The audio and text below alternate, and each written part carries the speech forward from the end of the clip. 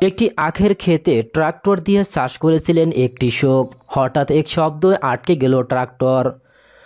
এরপর মাটির নিচ থেকে উদ্ধার হলো প্রায় চার টন ওজনের একটি সোনার মুখোশ। ঘটনাটি ঘটেছিল উনিশশত বিরানব্বই সালের পূর্ব কলম্বিয়ার কাকা উপত্যকায়। এরপর প্রকাশ্যে আসে মালাগানা সংস্কৃতি বেশ কিছু অজানা তথ্য। সোনার মুখোশটি পাওয়ার পর সেটি লুকিয়ে রাখেন ওই কৃষক। কিন্তু এত বড় বিষয় চাপা থাকেনি বেশি দিন। মুখোশটি পেতে খুন, লুটপাট সহ রক্তখায়ী বিভিন্ন ঘটনা ঘটে।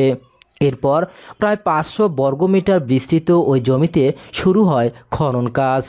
প্রত্নতাত্ত্বিকরা পরবর্তীতে সেখানে আবিষ্কার করেন ইয়ামাস, ইয়েতোকো, সোনসো ও মালাগানা সংস্কৃতি।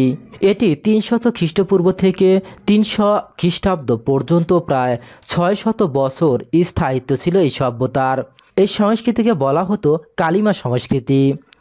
মাটির নিচে সন্ধান মিলেছিল এই সভ্যতার নানা সামগ্রীর এসবের মধ্যে এর অন্যতম একটি সোনার চিমটে যা ব্রুড ঠিক করতে ব্যবহার করতেন প্রাচীনকালের অভিজাত ব্যক্তিরা। এছাড়া প্রায় একশত পঞ্চাশটি মুখোশ ও গয়না মিলেছিল এই খননের ফলে। মিলেছিল প্রায় তৎকালীন আড়াই কোটি টাকা মূল্যের মুদ্রাও। কলম্বিয়ার রাজধানী বোগোতার মুসেও দেল ওরো অর্থাৎ সোনার সংগ্রহশালায় রাখা হয়েছে এই প্রত্ন সামগ্রীগুলো ইতিহাসবিদরা জানান, মৃত্যুর পর সমাধিস্থ করার সময় এই মারাত্মক বড় মুখোশ পড়ানো হতো। সেই সময়ের নেতৃস্থানীয় ব্যক্তিদের, এদের মধ্যে পুরোহিত ও অভিজাত ব্যক্তিরাও ছিলেন। ধন্যবাদ এতক্ষণ আমাদের সাথে থাকার জন্য।